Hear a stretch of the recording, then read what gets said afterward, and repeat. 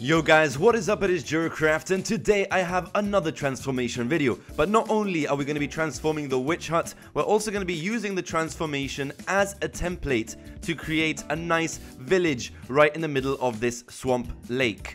Right guys, so the idea for this video is to transform the witch hut into a livable house, seeing as we are going to be using the house as a template to add some more village houses. I'm going to try and make two variations of this build, so we're going to have a one story house and then I'm going to try to transform my already transformed witch hut into a two-story house. So let's see how this goes.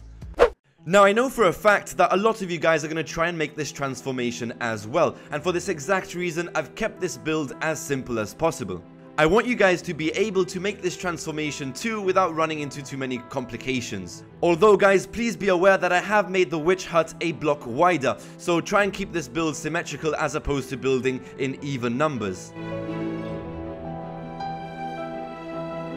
So I've also decided to use a variation of blocks and actually even use stair blocks to add a bit of extra detail because you know what, what's the, what's the point of having an entire house built out of just spruce wood? It's just not going to look good. So we've used some oak wood and we've even added some cobblestone across the bottom edge as like a sort of trim, uh, maybe like a sort of archway, I don't know guys, but this is looking pretty good already.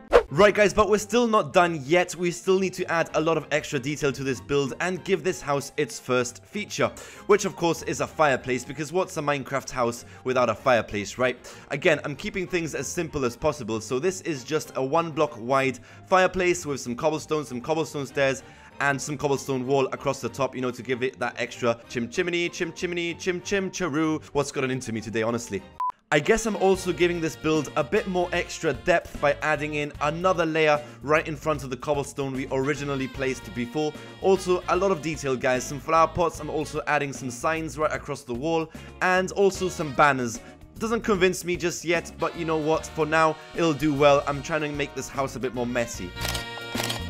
Right guys, so I'm quite happy with this design and as I mentioned at the beginning of this video, we were going to use this house as a template to start a village. So let's jump straight into it. So I'm going to start off with a bit of experimenting. I'm really not too sure how this is going to turn out, but my idea is to connect each house using sort of suspension bridges.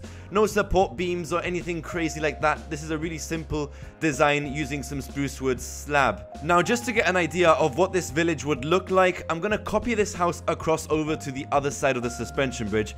And you know what? I think this looks pretty decent. So let's jump into transforming this house into a two-story house as I promised at the beginning of this video. So the first step, of course, is simple. A bit of demolition. I'm going to scrap the roof from the original design and give us some space to work with when it comes to the second floor. I'm also going to fix up the suspension bridge and add some support beams for the second floor to give ourselves a bit of a guideline. This should be relatively easy, nothing too complicated. But you know what, guys, I know some of you are going to want a step-by-step -step tutorial video, and it's understandable because it's much easier to follow. So if you do want a step-by-step -step tutorial video, just smash that like button and let me know in the comments below below. To be honest, I think I'm gonna do a step-by-step -step tutorial video anyway, because I'm actually quite happy with this house design. Um, pretty much just following the same steps as the original design. I'm gonna add in a roof and fix up the walls. It should be relatively simple, guys, nothing too complicated, as I always say.